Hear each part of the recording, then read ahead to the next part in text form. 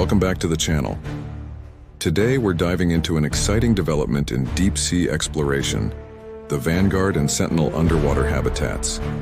These cutting-edge facilities are pushing the boundaries of human habitation beneath the waves. Let's explore what makes these habitats so groundbreaking and how they're changing our understanding of deep sea living. The Vanguard and Sentinel habitats represent the forefront of underwater technology. Designed to withstand extreme pressures and provide a sustainable living environment, these habitats are opening new possibilities for long-term human presence in the ocean's depths. Inside these habitats, researchers have created self-sustaining ecosystems.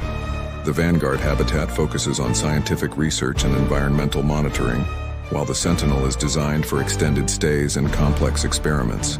Both are equipped with state-of-the-art technology to support life and work in the harsh conditions of the deep sea. We spoke with an oceanographer who explained how these habitats are a game changer for marine science. According to them, the ability to live and work underwater for extended periods allows scientists to conduct research that was previously impossible.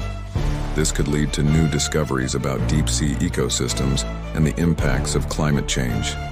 Daily life in these underwater habitats is as fascinating as the science being conducted. From conducting experiments to maintaining the habitat systems, living underwater requires a unique set of skills and adaptations.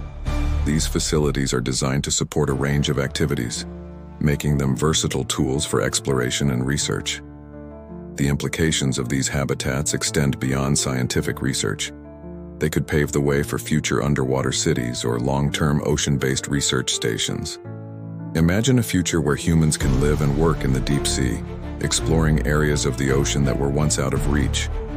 The Vanguard and Sentinel underwater habitats are a testament to human ingenuity and our drive to explore the unknown. They represent a new frontier in ocean exploration and offer a glimpse into a future where living beneath the waves is a reality. We'd love to hear your thoughts on these amazing underwater habitats. Let us know in the comments below. And don't forget to like, subscribe, and hit the notification bell to stay updated on the latest in deep sea exploration and technology.